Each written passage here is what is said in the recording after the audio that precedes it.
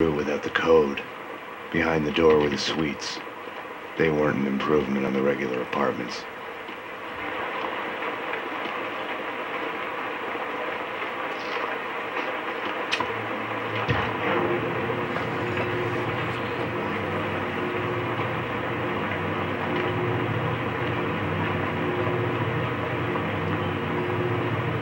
They're crazy. No, they want to kill me out.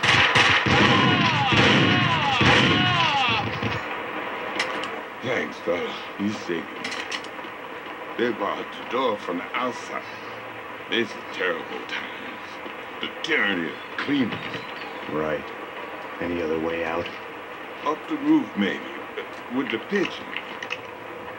You need the code to the second floor. Ed knows. You know Ed, the janitor. Poor Ed.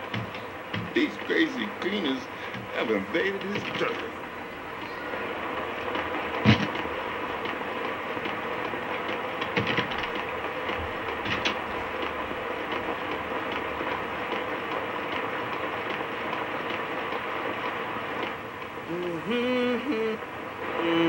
Night.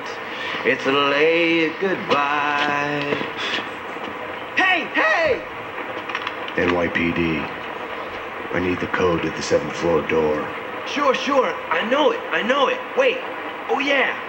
667. Neighbor of the beast. Get it? Yeah, I get it. Okay. You stay here. Okay. In our headlight.